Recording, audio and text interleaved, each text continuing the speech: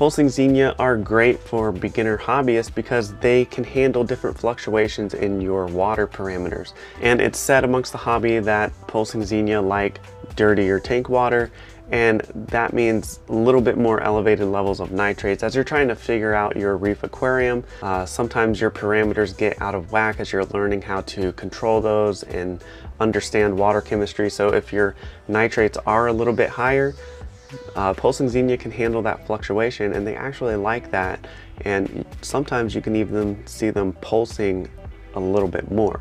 Now coming in at number two is water flow. What is the best water flow for Pulsing Xenia?